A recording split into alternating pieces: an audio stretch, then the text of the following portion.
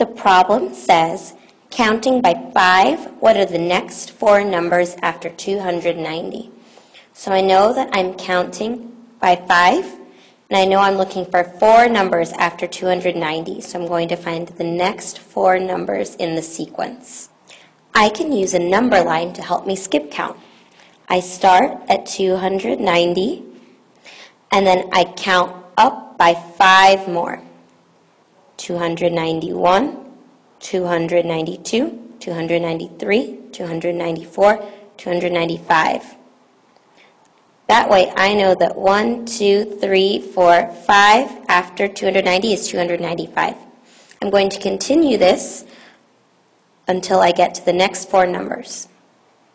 If I continue, the next number is 300, then 305, then 310. I see that the answer is the first one above.